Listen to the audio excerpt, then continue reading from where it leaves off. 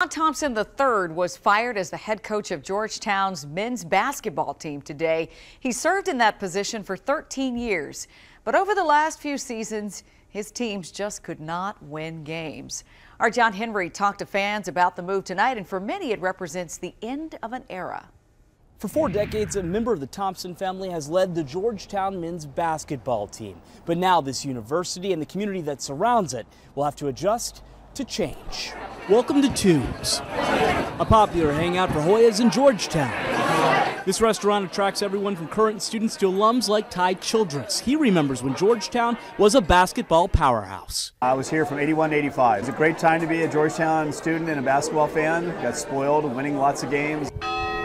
But he says today is certainly not a happy day for his alma mater. The firing of John Thompson III has left many Hoya fans with mixed emotions. And it's been frustrating not to see Georgetown basketball do better and the recruiting especially not do as well. Mm-hmm. On the other hand, I have such respect for the Thompson family. Some people feel Thompson's dismissal also represents Georgetown moving away from the legacy of his father, former Hoyas men's basketball coach John Thompson. Everybody knew who he was. Demond Johnson grew up in Southeast when Big John's teams dominated college basketball. He said they gave the district something to be proud of. Georgetown basketball was Washington, D.C. When I was younger, my whole goal was to play basketball, and I wanted to play for Georgetown as well, which was like many of my friends. That's what we wanted to do because that's what we saw.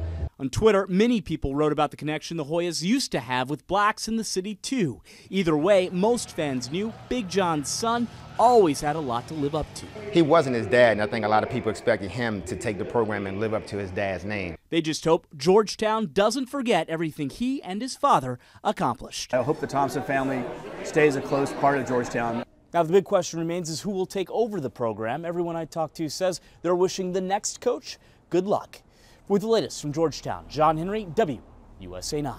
As you can imagine, today's news came as a bit of a surprise to some people, and many of them turned to Facebook to share their thoughts. So here, Mike posted, It's time for a change. Good luck to John III.